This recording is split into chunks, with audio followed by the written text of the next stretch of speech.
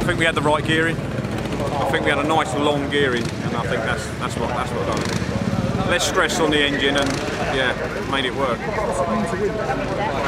I still can't believe it, to be honest. Still can't believe it.